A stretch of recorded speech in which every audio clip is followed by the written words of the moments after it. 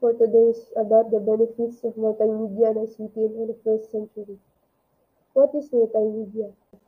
The word multi and media are combined to form the word multimedia. The word multi signifies many. Multi multimedia is a type of medium that, that allows information to be easily transferred from one location to another.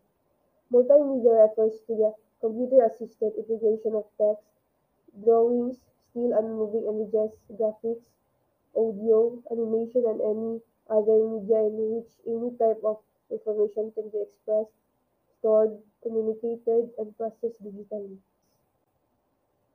What is ICT? ICT stands for Information and Communications Technology. ICT is technology that is used to handle communications processes such as telecommunications, broadcast media, intelligent building management systems, audio-visual processing and transmission systems, and network-based control and monitoring functions. ICT is often used to describe the convergence of several technologies and the use of common transmission lines carrying very diverse data and communication types and formats. These are the benefits of multimedia and ICT in the 21st century.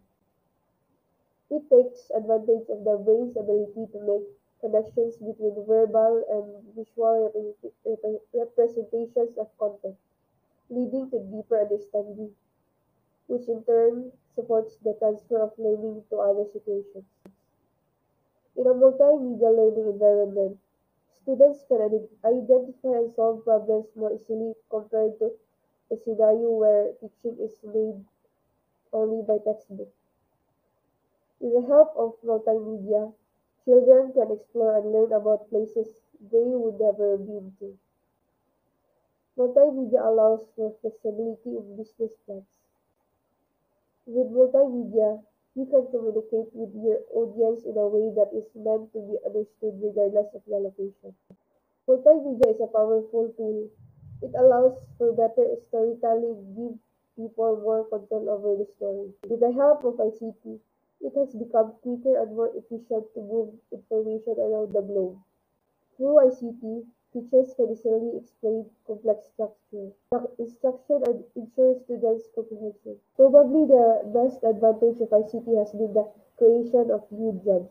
Thank you for watching. Please like, comment, subscribe, and click the notification bell.